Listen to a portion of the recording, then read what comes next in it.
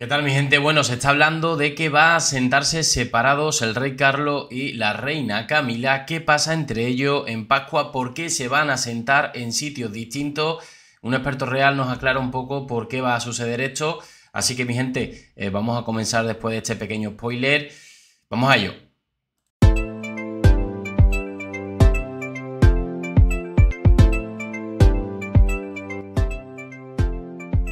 Bueno, sabemos que lo están pasando bastante mal en la Casa Real Británica, ya no solo por el cáncer del rey Carlos III, sino por el diagnosticado por Kate Middleton y anunciado hace escasamente una semana y, que evidentemente, bueno, ha tornado todo muy complicado, están en cuadros en la Casa Real Británica y evidentemente no lo están pasando bien, entendemos que no. Pero bueno, hay problemas, hay problema matrimonial entre el rey Carlos III y, Camila, que parece que lo está haciendo bastante bien, según un experto real, el otro día estuvimos comentando, está adaptándose muy bien a esa responsabilidad, eh, no tiene prisa por acabar los, los eventos, es decir, se ve que ella tranquila, como que puede hacerlo. Es verdad que tiene muchos años de experiencia, pero también es verdad que, que lleva siendo reina muy poco tiempo y que además no era ella nunca el foco de atención, siempre lo era el rey Carlos III e incluso más el príncipe que ella, que ella al ser consorte, pues bueno, como que llevaba una relación un poquito más, eh, digamos, una responsabilidad un poco más tranquilita, ¿no? Y es verdad que, parecía que le podía haber venido todo muy grande y al final parece ser que no, que se ha tornado a que ha sabido superarlo.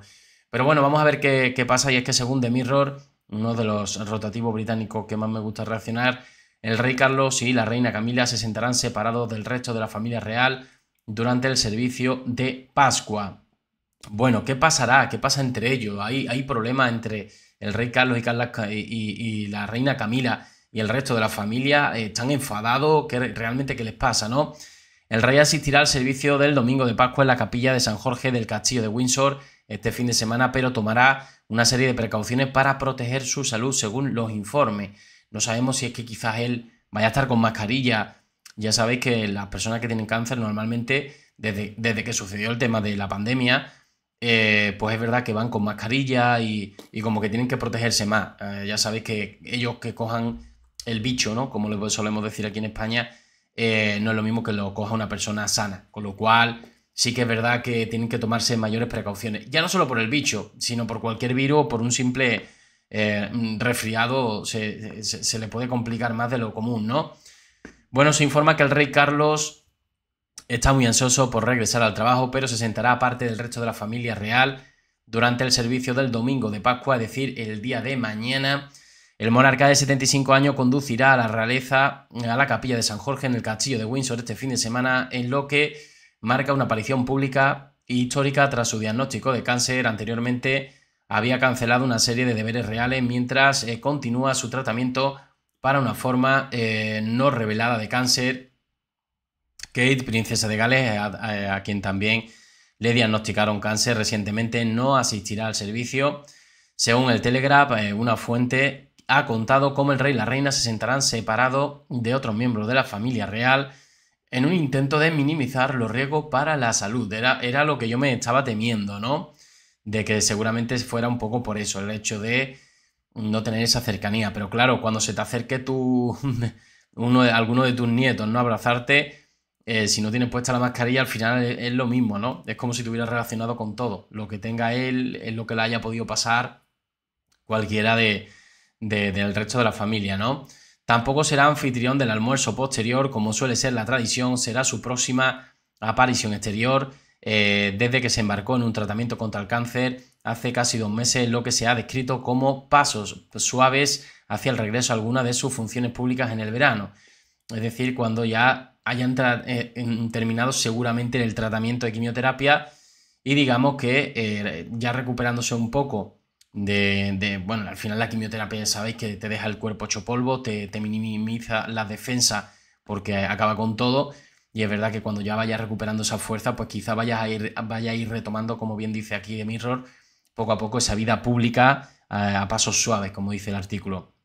Bueno, el viernes un destacado experto real dijo a la princesa de Gales, eh, Kate eh, Garraway, y eh, Rob Rinder se les unió un Good Morning Britain, el corresponsal real jefe de Newsweek, Jack Royston, mientras discutían la próxima semana la próxima aparición de Carlos, perdón, y la reina Camila en el servicio del domingo de Pascua, es decir, refiriéndose a mañana domingo.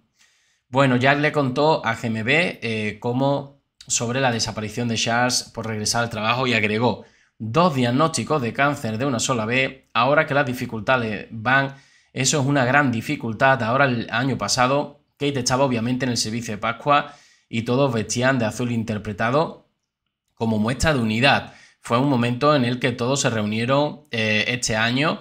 Este año el rey Camila estarán allí, pero los galeses no estarán allí. Creo que eh, en el caso de Carlos, obviamente, está muy ansioso por volver a trabajar.